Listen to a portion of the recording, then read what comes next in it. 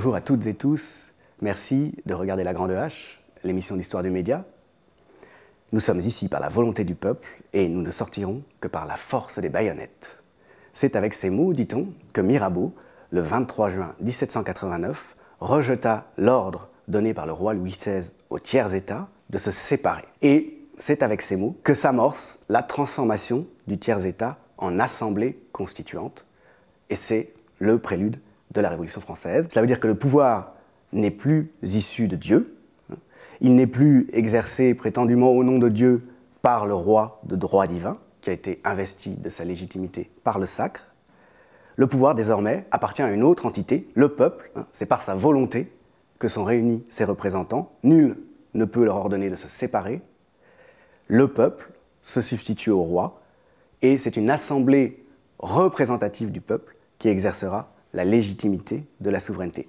Les fondements sont posés avec cette phrase du cadre politique contemporain. On sait bien pourtant que les régimes politiques qui se réclament du peuple sans être pour autant respectueux des libertés et des droits sont très nombreux. Et la notion de populisme est très présente aujourd'hui dans le débat public. Elle permet de mettre dans le même sac l'extrême droite et une partie de la gauche, celle qui se donne pour priorité la question sociale, c'est-à-dire la défense des intérêts des dominés, à commencer par les intérêts et les protections, quand elles existent encore, des classes populaires. Alors pourquoi est-ce que populisme serait une insulte? Pourquoi est-ce que ce serait péjoratif alors que cela renvoie au peuple, c'est-à-dire à l'entité qui détient la légitimité, à l'entité qui est souveraine? Qu'est-ce que le peuple en politique?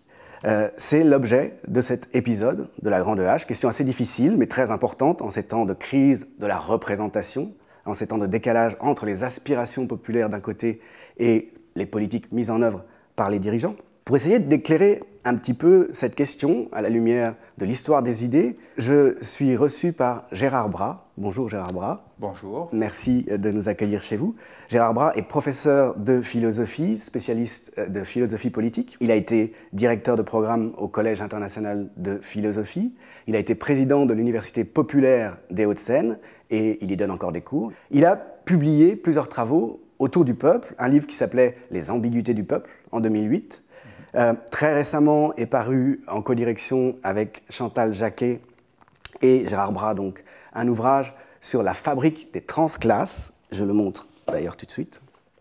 La fabrique des transclasses, qui est centré sur les parcours de ceux qui viennent des classes populaires et qui réalisent une ascension sociale qui les en fait sortir.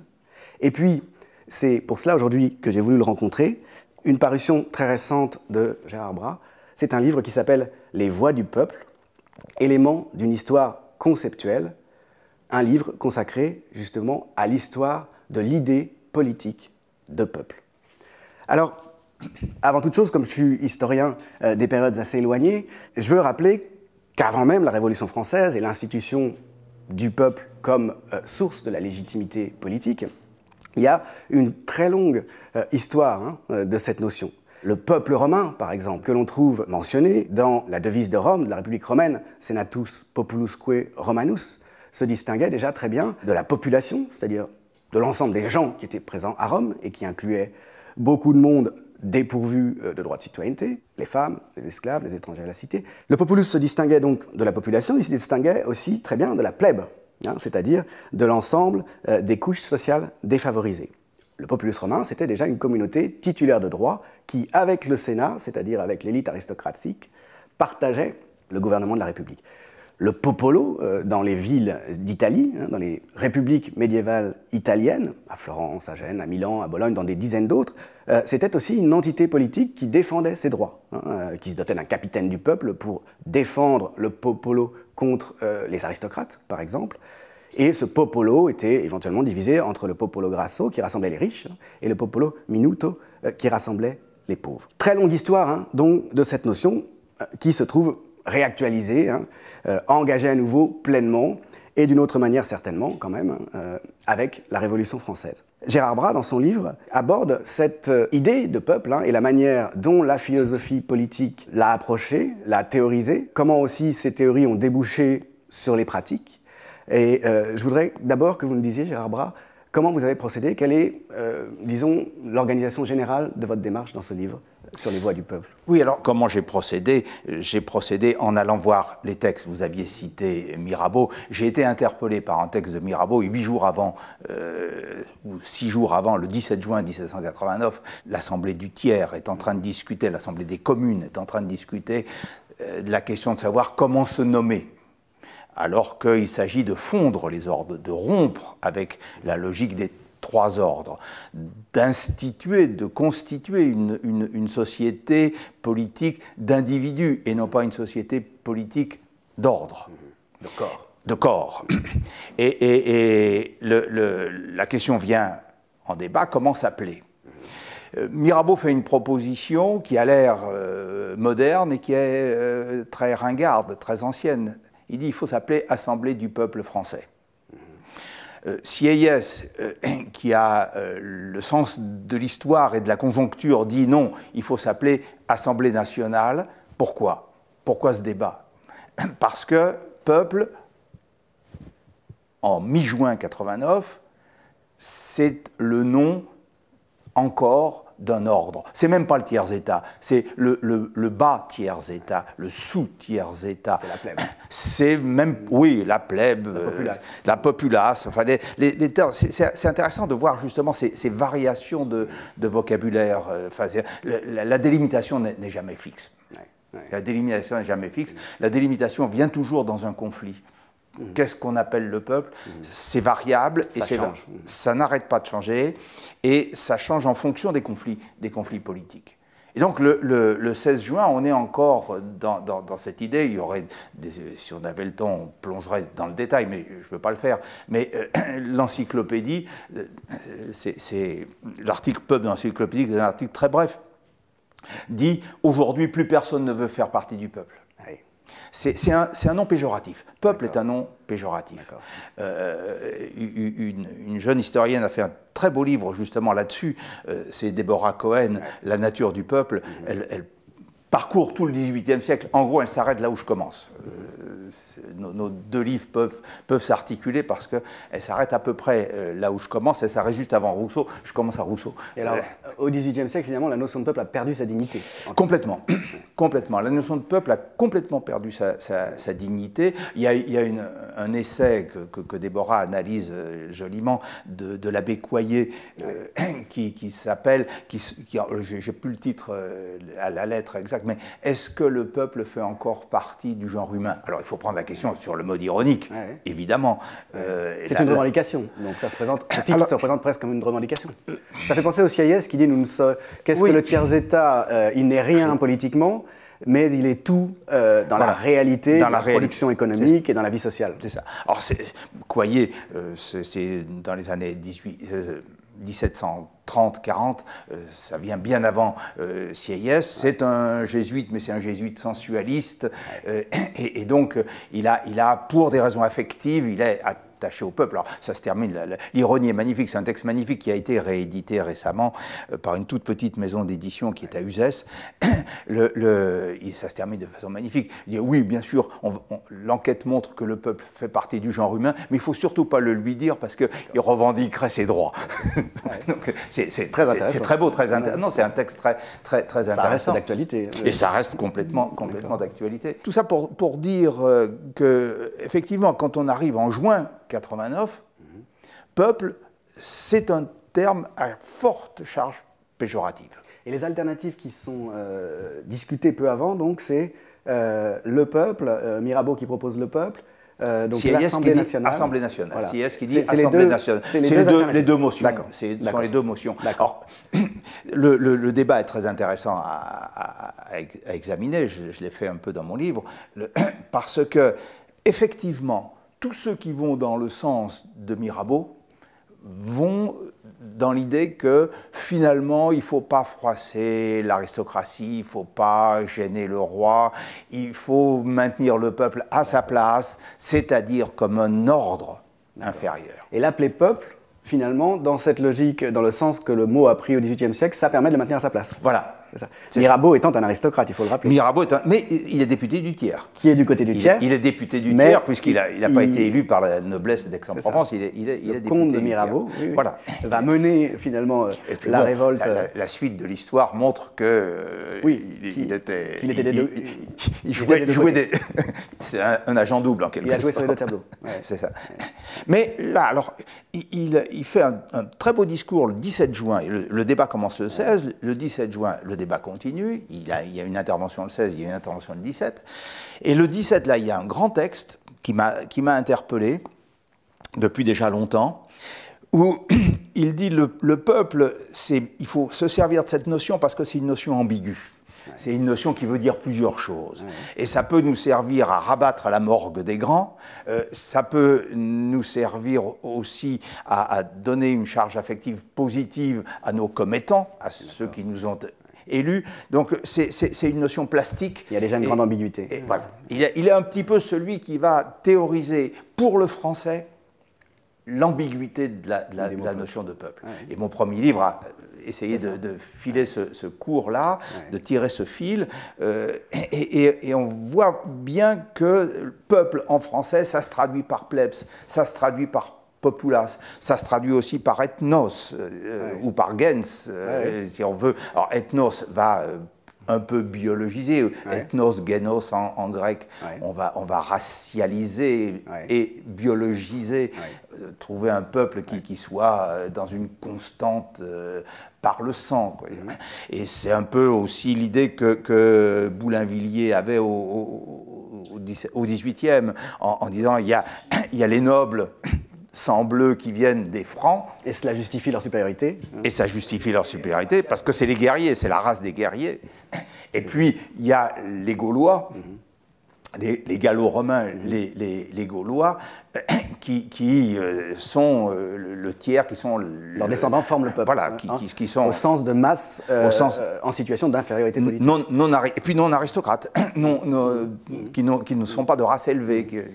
Alors, cette articulation entre peuple et race, peuple et nation naturelle, naturellement définie, c'est un jeu de confusion extrêmement importante depuis, depuis toujours, depuis, effectivement le, le, démos des Grecs. Enfin, l'histoire aussi est très compliquée chez, chez, les Grecs. Euh, il y a un, très beau livre un peu méconnu euh, de, Claudia de Oliveira Gomez qui s'appelle La cité tyrannique, qui est un livre magnifique parce qu'elle elle, elle montre que l'histoire de peuple ne commence pas à la démocratie, commence bien avant, qu'il y a un sens chez Homère, et que la crise fondamentale, c'est ce qu'elle appelle la, crise archaïque, c'est la crise qui va déboucher sur la tyrannie, la tyrannie étant assez proche de ce que vulgairement on appellerait aujourd'hui le populisme, le démagogue, celui qui est le guide du peuple, littéralement. Donc on, a affaire à une histoire qui n'est absolument pas continue. Ni univoque et qui n'est jamais, jamais, jamais univoque. Et alors de cette première séquence que vous analysez dans votre livre consacré euh, à la politique moderne, hein, à, la politique contemporaine, dans cette première séquence euh, de réactualisation de la notion de peuple, qui est la séquence révolutionnaire, qu'est-ce qu'on peut dire finalement du sens de cette notion, de ses fonctions au sortir de la Révolution? Il faut articuler l'entrée et la, et la sortie. Euh, à l'entrée de la Révolution, je, je pense que je pense au, beau film qui fait un peu polémique, euh, mais que j'aime bien, de, Pierre Scheller, Un peuple et son roi, euh, qui, est en, ce moment sur les écrans, euh, et qui montre bien le passage d'un sens à un autre. Qui s'opère pendant la Révolution Qui s'opère pendant les trois premières années, 89-92. Mhm. mais qui va s'opérer très très vite en fait. Parce que euh, euh, vous citiez Mirabeau, euh, on voit déjà en huit jours le décalage qui s'est fait. Entre le 17 juin, jour du vote, où Mirabeau se fait balayer, il est archi-minoritaire, mhm. et le, le, mot, au moment où le roi veut dissoudre les États généraux, et où les les, députés prêtent serment de ne pas se dissoudre tant qu'il n'y aura pas une constitution. C'est ça le, fond de, l'enjeu. Euh, le mot peuple a, pris une valeur différente. Et, et, cette valeur différente, elle va se modifier, me semble-t-il, fondamentalement, on le voit bien dans les écrits de CIS, elle va se modifier fondamentalement avec le 14 juillet. D'accord. Le 14 juillet, puis la Grande Peur, puis les, événements qui vont suivre 91-92. Mais il y, a un tournant avec le 14 juillet. C'est la, suite des événements qui change le sens du mot peuple. La, foule devient peuple. À ce moment-là, la foule devient peuple, c'est-à-dire qu'il il se passe entre juin et juillet, il se passe plusieurs interventions. Un historien comme Timothy Taquet a, a bien analysé les effets sur les députés eux-mêmes des interventions des femmes qui viennent à l'Assemblée à Versailles, qui ramènent le roi, puis euh, les, effets de, des mouvements de foule qui, qui s'organisent. On a une foule qui s'organise. Il y a un peuple qui prend conscience de lui-même et qui, prenant conscience de lui-même, devient peuple. Euh, voilà, c'est ça. qui, prenant, qui, en s'organisant, devient peuple, c'est-à-dire devient un acteur politique. Peuple, c'est le nom d'un objet de la politique, avant, avant 89. Les bons gouvernements, dans la tradition euh, républicaine, euh, qui remonte à Machiavel ou un peu avant, le bon gouvernement, c'est celui qui s'occupe du bien du peuple. Mhm. Donc le peuple, c'est l'objet, il est passif, c'est, il est objet de la mhm. politique. Et au mieux, il est objet de la politique. Au pire, il est complètement absent. C'est ça. Au mieux, il est objet de, de, la politique. Tandis que la Révolution en refait un acteur. Et il y, a une expérience. C'est, je veux dire, c'est qu'un un mot comme peuple, ça, ça vient comme euh, synthèse d'une expérience collective. Ça. Et c'est ça un concept politique, ça synthétise une expérience mhm. et ça ouvre un horizon d'attente. C'est ça. Donc ça a une efficacité directe. Voilà. Euh, ça, sur la pratique. Il y, a, il y, a un jeu, il y a un jeu entre les discours et la pratique, la pratique et les discours. Je ne sais pas si c'est dialectique, j'aime pas trop le, le, mot, mais disons un jeu d'influence réciproque, de relation de, de, l'un à l'autre, qui, qui, fait que euh, le, le, mot renvoie à une expérience, et cette expérience est l'expérience collective euh, d'une masse qui s'organise petit à petit, qui intervient. Avec des objectifs Et qui intervient avec des objectifs, et qui, ces objectifs sont des objectifs très précis, qui sont des objectifs de demande de droit. de constitution de droit. Bon, je pense en disant ça à tout le travail de Sophie Vanish, notamment ce magnifique livre qu'est La longue patience du peuple, qui, qui, qui retrace, c'est un livre qui m'a énormément servi parce qu'il il retrace sur la 91-92 les, événements qui font que effectivement on a affaire à une révolution populaire. Pas parce que le peuple qui était là dormant euh, se réveille, mais parce que dans le cours des événements, une masse se constitue en acteurs mhm. politiques divers, complexe, elle prend avec des contradictions, elle, prend elle prend la consistance d'un peuple. Je préfère cette formule-là, effectivement, elle, prend, elle prend la consistance d'un peuple. Et le résultat au plan événementiel, c'est le renversement complet d'un ordre millénaire, à savoir la proclamation de la République en 1792, après la fuite du roi, et l'institution, finalement, du peuple en titulaire de la souveraineté. Or, ça avait été devancé par Rousseau, qui avait mis le peuple en titulaire de Il y a des précédents dans les Lumières. Alors c'est ça, c'est-à-dire que la pensée de Rousseau, qui est un, petit peu de, cas singulier au XVIIIe, il n'est pas, il pas directement, il est un peu à part. Il est, euh, bon, c'est pas seulement son mauvais caractère ou sa supposée paranoïa. Il y a une réalité du cas exceptionnel. Euh, Rousseau, c'est un vrai cas exceptionnel, même s'il est sur le terreau des Lumières. Mais c'est lui qui installe, et c'est pour ça que la pensée de Rousseau va être sollicitée par euh, pas mal de, constituants, puis ensuite au moment de la Convention, mais c'est un des pères de la Révolution, si, on veut en ce sens-là. Parce qu'il il, rend le concept de peuple justement disponible pour dire le souverain, c'est le peuple. D'accord. Avant Mirabeau, avant le processus historique, par la réflexion théorique, il en arrive à faire du peuple le vrai titulaire des droits. Absolument, absolument. Par une réflexion assez complexe, d'ailleurs, qui, il y a encore beaucoup de choses à, faire là-dessus, mais c'est vrai que le, contrat social, c'est fondamentalement cette, cette, affirmation, et puis ensuite la réflexion sur les conditions qui vont permettre à ce que un collectif puisse exercer ses droits, que le gouvernement ne happe pas euh, la totalité du pouvoir. Tout le problème de, Rousseau, dans les livres 2, 3 du contrat social, il n'y a pas que le livre 1, on lit beaucoup le livre 1, mais il y a, les autres, où il s'agit de travailler sur les risques que dans, dans, une république démocratique, alors il se méfie beaucoup du terme de démocratie, mais dans une république démocratique, les risques que le, la représentation capte à son profit le, pouvoir politique et donc deviennent euh, détenteurs effectifs de, de, la souveraineté. Que l'on passe à une représentation confiscation. Hein. Le risque du gouvernement, c'est de devenir un corps séparé du corps, du corps politique. Et ça, c'est inhérent à, la démocratie, à, la démocratie représentative euh, elle-même. Et alors, au terme de cette première séquence de la modernité politique, qui voit la réhabilitation du peuple et son apparition au premier plan comme titulaire de la souveraineté, quel bilan vous faites justement en termes d'idées politiques euh, et en termes d'efficacité pratique de ces idées, d'actualisation de ces idées le, terme est compliqué parce que le terme, évidemment, c'est le neuf thermidor. C'est la victoire des thermidoriens, c'est-à-dire la victoire, euh, si on parle en termes de catégorie sociale, d'une révolution bourgeoise sur une révolution populaire. Et euh, finalement, on, voit bien euh, le bilan qu'en tire euh, un grand penseur de l'État comme, comme Hegel. Le, bilan, c'est de dire, oulala, le peuple, c'est la populace.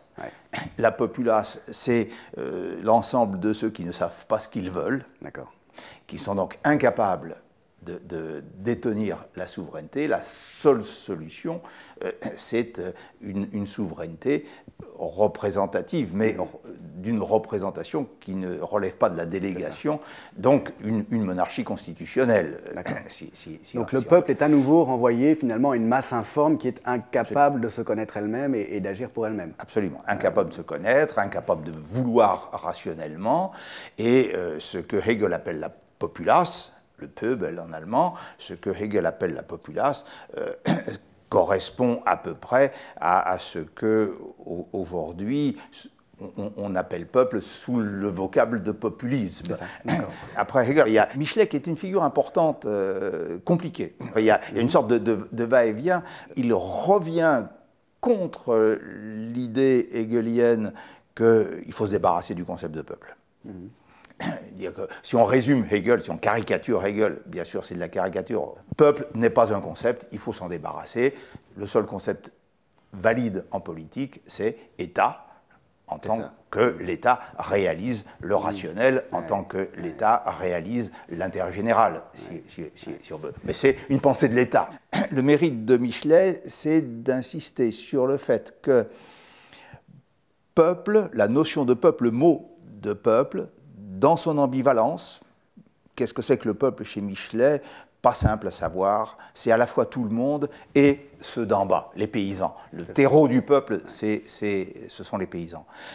ceux qui font le pays, ceux qui font le territoire, parce qu'ils travaillent la terre et qui sont prêts à se sacrifier. Alors, un des éléments de peuple chez Michelet, c'est le sens du sacrifice.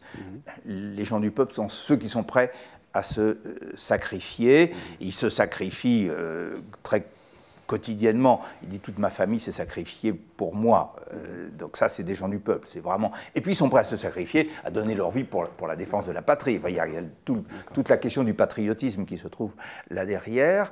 Et, alors que le bourgeois, il, dit le bourgeois considère qu'il est propriétaire de la France. les gens du peuple font partie d'eux, alors que c'est l'inverse. Donc il y a ce pourquoi Michelet m'intéresse, c'est qu'il il insiste sur le fait que peuple est porteur d'un imaginaire collectif. Et sans cet imaginaire collectif, sans ce qu'on appelle quelquefois aujourd'hui les grands récits, sans un récit mhm. collectif, c'est pour ça qu'il fait une histoire de France. Et qu'il fait une histoire de France qui, qui, se présente comme histoire du peuple. Mais L'autre grand acteur qui pose finalement beaucoup moins de problèmes sans doute à Michelet parce qu'il présente moins de contradictions, c'est quand même la France. Oui. l'histoire de cette femme, en définitive, qu'est la France, et qu'on retrouvera d'ailleurs mise en scène par Charles de Gaulle lui-même hein, dans ses mémoires. Absolument. Quels sont les rapports pour lui entre la France et le peuple, en définitive? Euh, pour, ben pour Michelet. Pour Michelet, la vérité de la France, c'est le peuple. Il y a deux peuples, dit-il. Le petit peuple d'en haut, petit, je pense que c'est à la fois numériquement et spirituellement. D'accord. Il y, a une pensée anti-chrétienne très clairement euh, chez, chez, chez, Michelet. Ils sont obligés de parler latin d'église. Ils sont obligés d'inventer un truc incompréhensible qui est le péché originel. Et pour justifier le péché originel, ils sont obligés d'avoir des théories extrêmement compliquées, faites pour qu'on n'y comprenne rien. Alors que le grand peuple d'Envoi, qui est une force vitale, qui est l'arme véritablement de, pour lui de, de, la France, est écarté par ce petit peuple d'en haut depuis depuis Vercingétorix, depuis les Francs. Et il s'agit, avec la Révolution, justement, de restituer la puissance de, de, ce, de ce, grand peuple d'en bas. Euh, Donc il y a un populisme de la vision de l'histoire de Michelet. On peut, tout à fait, si c'est le mot populisme, on, en parlera peut-être, mais c'est un, mot compliqué. Mais euh, il y a plusieurs, plusieurs théoriciens, je le, reprends, je le reprends à mon compte. On parle de populisme théorique, on parle de populisme radical. Euh, il y a, y a euh, oui, oui, une pensée de, de la vérité spontanée du peuple chez, chez, chez Michelet. Maintenant, qui a la voix du peuple? Là, une autre question difficile, euh, c'est pas nécessairement le peuple, euh, ça peut être le génie. le génie qui arrive. Alors, est-ce que Michelet se pose lui-même comme génie, oui et non, là encore un peu complexe, mais euh, il y a cette, tendance-là. Euh, on est en plein romantisme. Hein, on, est en plein, on est en plein romantisme. Et c'est vrai que quelqu'un comme Jacques Rancière a dit euh, Michelet met en scène le peuple pour ne pas lui donner la parole. Mhm. et c'est vrai que quand Michelet fait par exemple l'histoire de la Révolution française, il va aux archives et euh, il explique qu'il est admiratif devant le fait que pour la fête des fédérations, les gens ont pris leur plus belle écriture, qu'ils ont mis des rubans euh, sur euh, les, textes qu'ils envoyaient, mais ils ne donnent jamais lecture. Mm-hmm. Les textes que justement les gens du peuple ont écrits pour cette fête des fédérations. C'est vrai que le reproche que euh, Rancière adresse à, Michelet euh, a, de quoi être parfaitement motivé. Il parle beaucoup du peuple et finalement, euh, on n'entend pas beaucoup le peuple parler. Et d'ailleurs, Michelet lui-même a un peu cette intuition. Il dit Oh là là, la langue du peuple, je n'ai pas su. Mm-hmm la rendre. Je n'ai pas su la parler. J'ai perdu la langue du peuple. Il est, il, est, il est assez déchiré dans, dans, dans, ce, dans, ce, dans, ce, rapport au peuple. Est-ce que je n'ai pas trahi le peuple? C'est une des questions qui, qui, le, qui le, hante aussi euh, sans arrêt. Donc, euh, on peut mettre en scène le peuple avec euh, grand fracas pour bien le faire taire. Dans cette première séquence, il y a aussi, à côté de la notion de peuple, une autre qui prend une très grande importance, c'est celle de nation. Mhm. La Révolution française donne un nouveau sens, hein, le sens politique moderne de ce terme. Euh, et c'est une notion qui est tout à fait motrice, hein, tout à fait euh, importante dans les événements euh, qui commencent en 1789. Alors, quel est le lien avec le peuple Quel régime des relations entre le peuple et la nation? Si on veut être très schématique, et ça, ça donne une bonne boussole, sur, sur la période révolutionnaire proprement dite, Nation et peuple sont les deux termes les plus utilisés pendant toute la période révolutionnaire. Dans les discours politiques Dans les discours politiques. Notre peuple est complètement minoré en 89 et puis monte en puissance de façon formidable dès, juillet, je l'ai évoqué. En gros, on parle de nation pour signifier l'unité. Mhm. En gros. 9 fois sur 10. C'est-à-dire que la nation, c'est quand même plus que le peuple. La nation, c'est euh, oui, c'est plus que le peuple. Numériquement. C'est c'est pas seulement numérique, c'est qualitativement aussi. C'est qualitativement l'unité réalisée. Et c'est pour ça que CIS insiste pour que ça s'appelle Assemblée nationale, Et, pas Assemblée. Et non pas l'Assemblée du peuple, non pas l'Assemblée populaire, euh, comme on aurait pu le... Et, peuple continue à, à signifier on le voit bien euh, lorsqu'il est question euh, du débat sur le vote censitaire, par exemple, avec le, ce, superbe discours de Robespierre sur euh, le mar d'argent, on, voit bien comment peuple vient insister sur le fait qu'il y a de la division.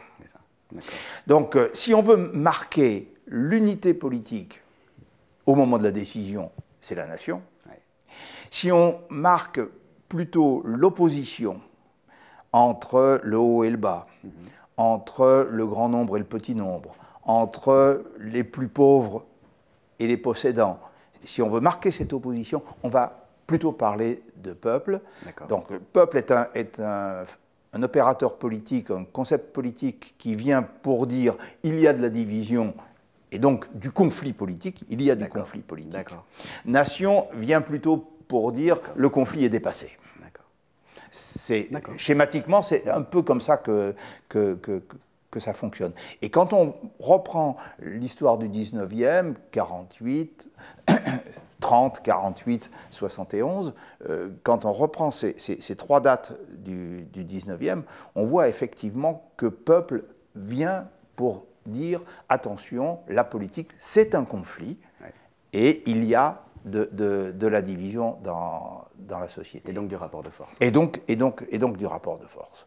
Alors, euh, la deuxième séquence que vous envisagez dans euh, cette histoire de la notion de peuple en politique, hein, euh, indexée à la chronologie de la vie politique, française en particulier, c'est la période de la résistance, du gaullisme, puis de la 4 République. Les deux, et de, la les deux de Gaulle, en quelque sorte. Et de la guerre d'Algérie, voilà. Les deux de Gaulle, euh, celui de la résistance, euh, celui euh, de la fin de la guerre d'Algérie et du coup d'État qui aboutit à la création de la 5 République.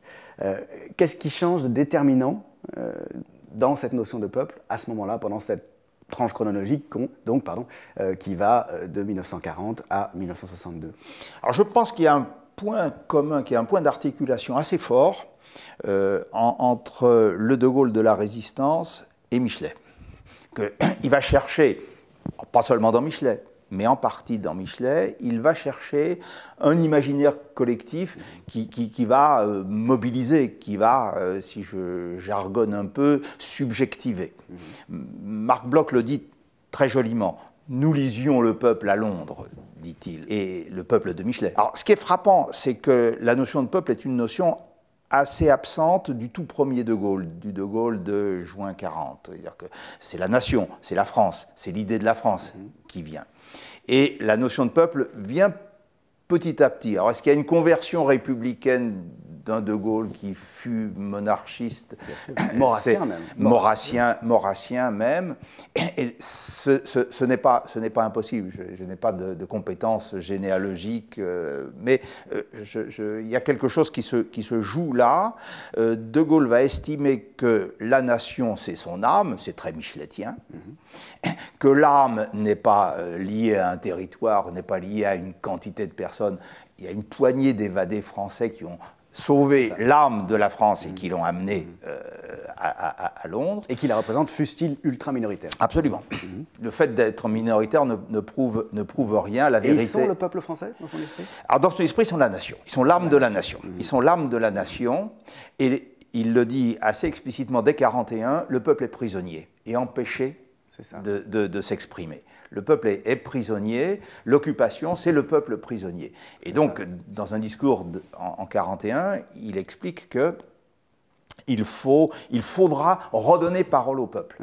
Ce qui est un, peu un tournant dans, dans, sa réflexion, où il vient réarticuler peuple et nation avec comme objectif, effectivement, de réaliser une unité qui va des Maurassiens aux communistes.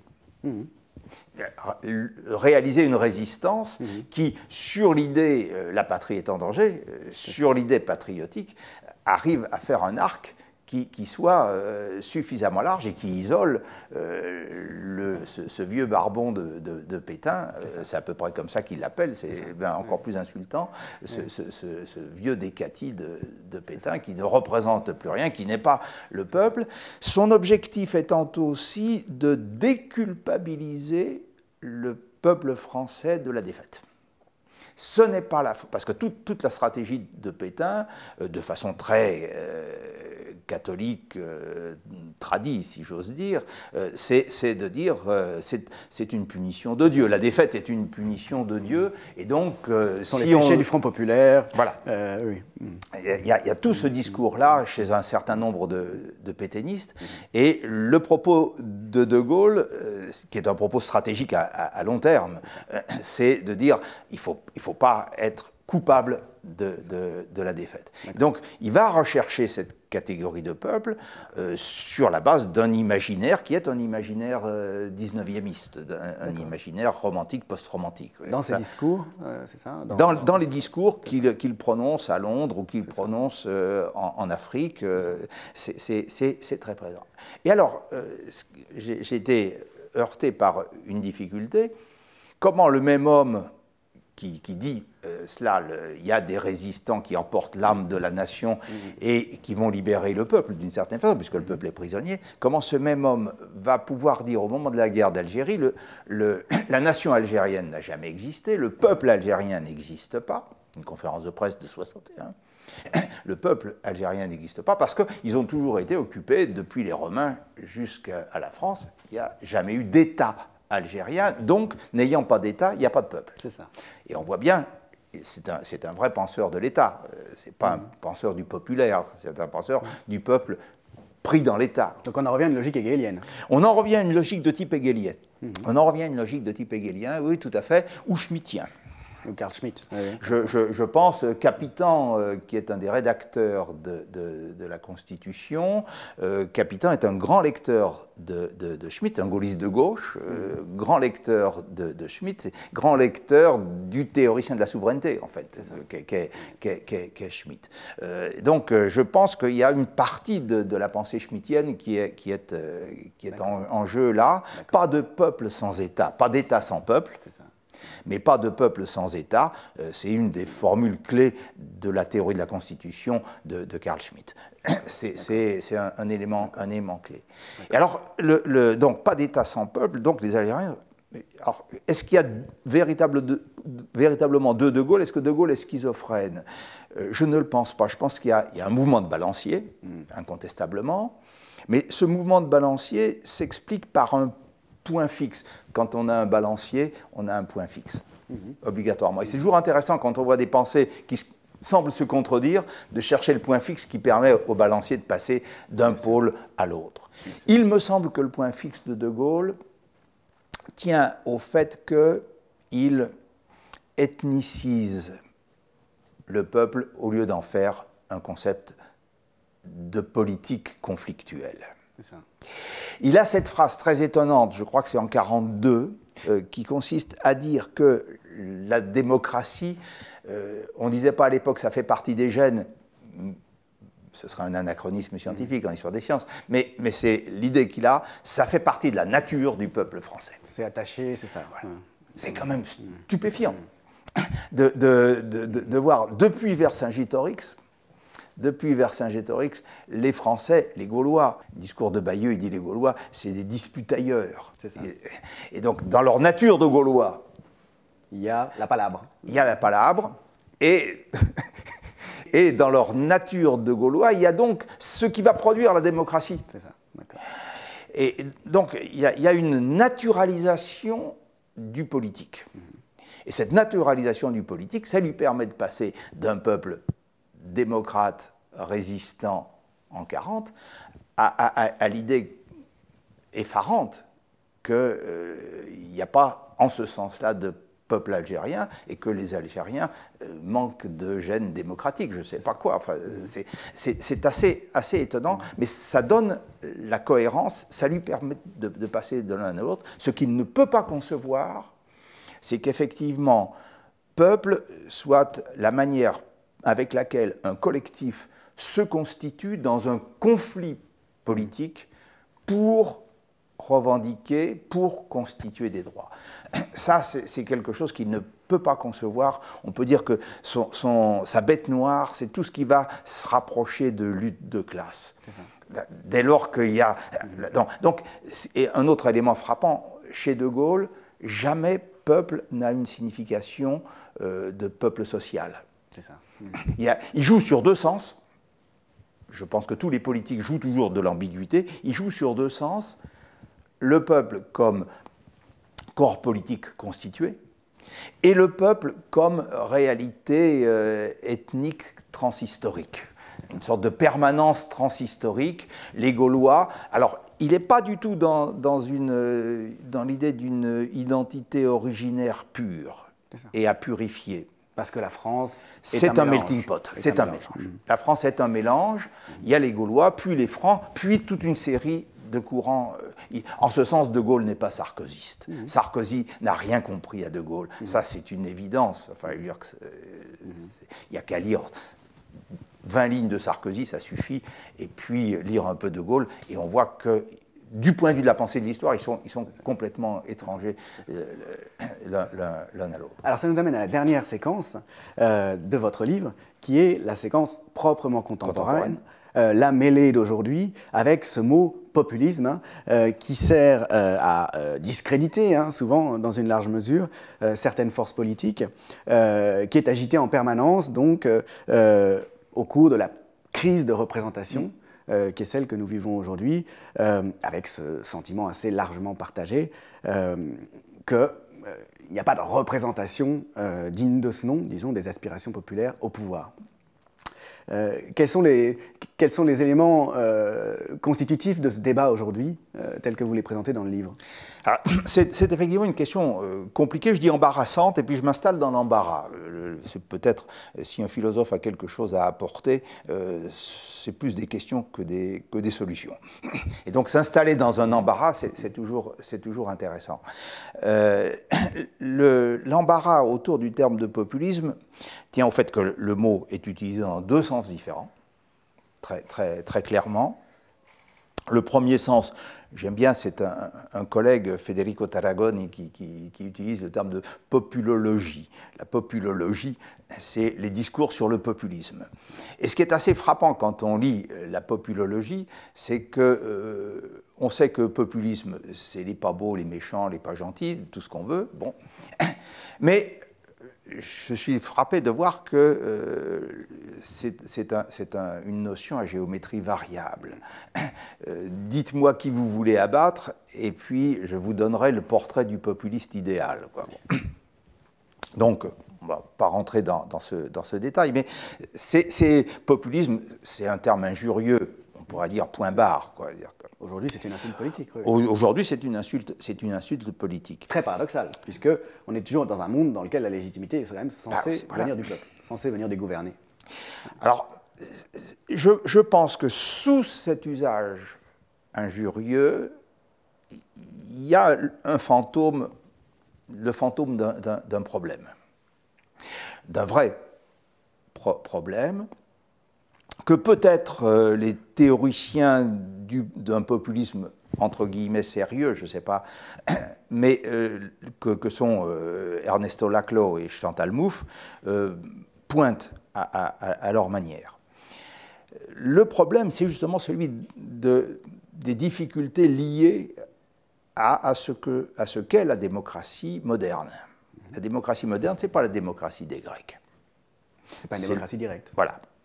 Donc euh, on, a affaire à, quelque chose, à une république démocratique. Déjà, lier ensemble république et démocratie, ça poserait un certain nombre de problèmes théoriques, ça ne va pas de soi du tout. Il y a des médiations pour exprimer la volonté euh, voilà. et pour mettre en œuvre la volonté populaire qui ne peut pas se mettre en œuvre directement, contrairement à ce qui était le cas dans la cité grecque. Une série, une série de difficultés. Alors, ces, difficultés, on peut les ramener à, trois peut-être. Euh, la démocratie moderne est représentative, mais la représentation, ce n'est pas une notion simple. Non. Ce n'est pas une notion simple. Est-ce qu'on est en mandat impératif ou est-ce qu'on est en mandat souverain, par exemple mhm. Donc on est pris dans ces pôles. La démocratie moderne prône la participation. Mais c'est pareil, la participation, on l'a bien vu euh, dans les 20 dernières années, ce n'est pas une notion simple, parce que ça peut être euh, le comité Théodule, comme disait le grand Charles. Et, et, puis on cause, on cause, cause toujours, la démocratie du cause toujours. Euh, au contraire, la, participation, ça peut être des assemblées qui, décident. pas seulement consultatives, mais délibératives. Mais alors, s'il y a des, assemblées populaires de quartier, par exemple, qui font des délibératives, pourquoi la représentation? On, on, tombe dans des difficultés qui sont des vraies difficultés. Et puis la démocratie, c'est une troisième chose. On le voit bien. Euh, Qu'est-ce qu'on appelle démocratie? Il y, a des, il y, a des, pays où il y a des élections, il y a des représentations, mais il n'y a pas de démocratie pour autant. Pourquoi? Parce qu'il n'y a pas liberté d'opinion, parce qu'il n'y a pas liberté de manifester, parce, qu'il n'y a, a, pas la possibilité Bon, on, revient à 89, le droit de résistance ou le droit d'insurrection contre la tyrannie. Et, donc il y a une dimension insurgente dans, dans, dans, la démocratie moderne, bon, que les dirigeants, évidemment, euh, oublie tout de suite. la rue, c'est un peu, un peu le fantôme, mais, ça, ça, fait partie de, la démocratie. Et là encore, on voit qu'il y a une difficulté, parce que si c'est pour faire des, des, manifestations, comme il y a quelquefois devant la Maison-Blanche, avec une pancarte en tournant rond, c'est bien sûr qu'il y a liberté de manifester, mais... Ce sont des coups d'épée dans l'eau. Voilà. Et, et, l'autre pôle, c'est la guerre civile. Mm. Donc, on, est, je crois que pour comprendre le populisme, il faut partir de ces trois mm. difficultés. Euh, qui fait que peuple n'est jamais une notion simple dans, dans la démocratie. Et donc, euh, la démocratie est hantée par ce, ce, ce spectre-là. Et je pense que euh, autour de cette notion très confuse de populisme, j'essaye d'éviter d'en faire usage, mais on ne peut pas complètement en faire usage parce que ça pointe, me semble-t-il, un problème qui est le problème de l'articulation entre les différents sens de peuple et l'exercice du, du, pouvoir politique. Alors après, il y a, il y a, la théorisation euh, rigoureuse avec laquelle j'ai personnellement, j'aurais des désaccords, mais de construction du peuple tel que Laclos et, et, Mouffe la, le, le, développent, Chantal Mouffe allant jusqu'à un concept de opposant populisme de gauche, populisme de droite. Le mérite au moins de cette théorisation, c'est de réintroduire du conflit dans la politique. Mais un conflit réglé. Mais un conflit réglé. C'est-à-dire pas la guerre civile. Pas la guerre, elle fait bien la différence entre adversaire et ennemi c'est euh, effectivement un conflit réglé. On se bat contre des adversaires. La différence est fondamentale parce qu'un ennemi, il n'y a qu'une solution, il faut l'abattre. C'est ça. Un, adversaire, on peut finir par un compromis. Et alors ça, renvoie à une idée qui a beaucoup été travaillée, me semble-t-il, euh, depuis les années 90 par un autre penseur contemporain du peuple auquel vous avez déjà fait allusion, Jacques Rancière, l'idée selon laquelle les sociétés dans lesquelles domine le consensus, et nous sommes dans des sociétés qui sont de plus en plus consensuelles euh, dans une large mesure, notamment en termes médiatiques. Euh, dans ces sociétés-là, c'est là, qu'il y a le moins de démocratie, hein, la société de consensus. Absolument. Absolument. Et donc, c'est vrai qu'on peut distinguer, voire opposer euh, la rancière sur des points, mais il y a un point commun, il y a un point commun entre eux, c'est que la politique, c'est un conflit. Mm-hmm. La politique, c'est un conflit. Euh, la gouvernance, le, terme euh, finalement le dit assez bien, euh, c'est une gestion euh, de population. Mmh. C'est une, gestion, d'un corps une question technique. D'un corps politique qui n'est pas politique, d'un objet, du, peuple au vieux sens d'objet de la politique. Absolument. Il y aurait de, de population même. C'est ça. C'est un terme d'entreprise en fait. La gouvernance, c'est du management. C'est pas le gouvernement. C'est du management, c'est pas du gouvernement. Ça gère pas des conflits, ça essaie au contraire de les éviter. Ça essaie d'éviter les conflits. Alors qu'en politique, il y a un conflit fondamental, et c'est vrai que Rancière met bien le doigt là-dessus, et ça me paraît absolument essentiel. Est-ce que doivent gouverner ceux qui ont des titres pour cela? Mm-hmm. Alors les titres pour gouverner, ça a été euh, la naissance, ça a été euh, la richesse, euh, ça peut être une conjonction des deux, la et ça s'appelle la compétence. En, gros, la compétence, c'est le cache-sexe de, de l'un mais ça ne se présente pas comme ça. Ça se présente comme une capacité objective technique. Absolument. En pratique, c'est le fruit. En pratique, euh, de la combinaison. On travailler sur les transclasses aussi. c'est le fruit de la combinaison de la naissance et, euh, et de, la richesse, oui. Mais euh, ça se présente comme quelque chose d'objectif. C'est ça, ça se présente comme quelque chose. Enfin, c'est toujours des titres à gouverner que certains des titres à, et que d'autres n'ont pas. Et, que d'autres n'ont pas. Et c'est vrai que Rancière a ressorti le vieux mot de Demos pour dire le démos, c'est ceux qui n'ont aucun titre à gouverner et qui, pour cette raison-là, demandent à avoir part au gouvernement. Et donc le, problème euh, essentiel, me semble-t-il, chez, chez, chez, Rancière, je trouve qu'on n'en est pas sorti, qu'il faut au contraire s'ancrer là-dedans, c'est bien celui de savoir quelle est la part des sans-parts mhm. qui est faite mhm. dans, dans, dans, la politique aujourd'hui. Il n'y a pas de politique si on ne prend pas en compte un litige qui porte sur la, la, part des sans-parts, sur le fait qu'il y a des sans-parts. Mhm. Et, et, que ces sans-parts aient voix pour réclamer leur part, euh, réclamer une part, pas leur part, une part, ce qui, ce qui implique une reconfiguration des règles de distribution. Alors là, vous renvoyez, je pense, à un, livre très important qui est paru en 2005 et qui s'appelle La haine de la démocratie, euh, que Jacques Rancière a écrit au lendemain du euh, référendum autour du traité constitutionnel européen, euh, dont le résultat avait surpris les, élites dirigeantes. ce livre autour du scandale de la démocratie et de la haine, selon le mm. terme, les termes du titre, que suscite parmi les élites dirigeantes et parmi les élites qui ont la parole, on l'a bien vu pendant la campagne autour du traité constitutionnel européen, la haine que suscite l'idée que finalement tout un chacun, euh, en raison d'une égalité ontologique originelle au plan politique, quelles que soient les disparités de compétences, tout un chacun aurait euh, voix égale au chapitre, dans une certaine mesure, euh, et serait au départ le dépositaire du droit à disposer de soi-même. Absolument. Et donc ça remet là encore le peuple comme démos au cœur de la politique. Ça, ça, ça, je dirais pas ça remet le peuple parce que ça suppose qu'il existe déjà. Ça permet de constituer un peuple. Et j'aime bien cette formule de, Rancière, un peuple est toujours constitué contre un autre. On n'a pas le peuple et les élites, c'est peut-être la différence fondamentale entre Rancière et, la Clomouf. On n'a pas le peuple et les élites, et donc il faut réveiller le peuple.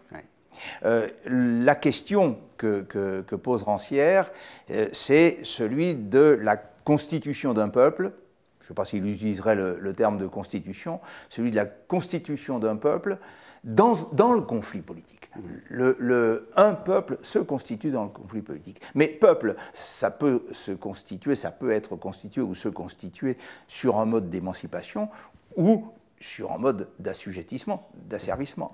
Le peuple peut se constituer sur la base du principe d'égalité, mais il peut y avoir un peuple qui se constitue sur la base d'un principe d'identité et on le, on le, voit bien aujourd'hui, euh, on voit bien aujourd'hui qu'il y a des tentations fortes euh, en France, en Europe, euh, aux États-Unis, mm-hmm. de, de, constituer un peuple sur la base du principe d'identité qui étouffe ce que serait le, le, peuple se constituant sur la base du principe d'égalité. Donc c'est vraiment un conflit qui génère un peuple ou un autre. Mm-hmm. On n'a pas le peuple et les élites, on a un peuple contre un autre peuple. Le conflit politique, il traverse la masse, il traverse le collectif lui-même. Et donc, en définitive, le, scandale de la démocratie, euh, c'est euh, le peuple euh, qui, se constitue comme entité politique sur la base de l'égalité. Que n'importe qui puisse gouverner, que n'importe qui ait voix, voix, au chapitre. Et ça, ça c'est, je pense, une question essentielle dans la politique, dans la politique contemporaine. Euh, il n'y a pas d'autre, je vois pas d'autre issue possible pour la politique que de revenir avec, avec cette, euh, cette idée forte euh, au centre de la politique. Est-ce que je peux vous demander, comme on le fait traditionnellement maintenant avec la Grande H, de nous présenter un livre, un auteur qui a beaucoup compté dans votre parcours? Bien volontiers bien volontiers. J'ai choisi un livre, j'en ai amené deux, deux, éditions, parce que celle-ci, devenue euh, introuvable, elle il y a une réédition. C'est un livre d'un philosophe très important qu'on ne parle pas beaucoup. C'est les mois. Oui. Dont on ne parle pas beaucoup, qui est Jean Toussaint de Santi qui a eu un parcours assez long et je trouve très important dans la philosophie française dans tout le XXe Jean Toussaint de Santi a, été normalien. Il a adhéré au Parti communiste pendant la guerre. Il a été directeur de la revue des intellectuels communistes, La Nouvelle Critique. Il a pris de la distance en 1956 au moment du 20e congrès du Parti communiste de l'Union soviétique et il a ensuite écrit une thèse sur les idéalités mathématiques extrêmement compliquée.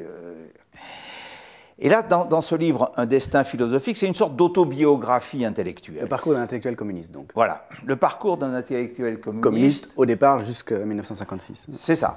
Alors il doit quitter le PCF dans les années 70. Très... Il prend ses distances avec la Hongrie. voilà, il prend ses distances euh, et puis il garde sa carte. Et ce texte part d'une sorte de provocation que lui adresse son ami Maurice Clavel, qui porte sur la question des convictions, convictions matérialistes. Euh, il dit quand j'ai écrit les idéalités mathématiques, j'ai mis entre parenthèses mes convictions matérialistes. Clavel est un intellectuel chrétien. Hein. Clavel est un intellectuel chrétien, gaulliste, fervent, euh, connu aussi pour ses, coups de théâtre, ses emportements. ses emportements. Et ils étaient amis depuis le milieu des années 30. Et De Santi reçoit, reçoit cette lettre de, de Clavel, et c'est le terme de conviction, évidemment, Qu'est-ce que c'est conviction matérialiste? Qu'est-ce que c'est pour un, philosophe athée de parler de conviction, de dire je mets mes convictions entre parenthèses, on vient à aussi se poser ce problème. Comment est-ce que moi, philosophe, j'ai pu être stalinien? Qu'est-ce philosophe stalinien euh, Ça paraît une contradiction dans les termes, euh, si on est vraiment philosophe. Et donc, il, vient prendre cette question à la racine, et du coup, il fait une théorie de la croyance que, je trouve absolument admirable, et il reprend intellectuellement son, son, parcours pour répondre à cette question. Et ce que je trouve admirable, c'est qu'il le fait sans, sans acrimonie, sans ressentiment, euh, sans, sans, sans, piétiner ce qu'on a pu adorer. Enfin, il y a différentes attitudes de, du reniement, et sans, ça. Mais vraiment essayer de comprendre comment cela a été possible. C'est pas un repenti. Ce n'est pas. Voilà, c'est tout sauf euh, un discours de repenti. Merci beaucoup, Gérard Bras, de nous avoir reçus euh, chez vous. Merci à vous.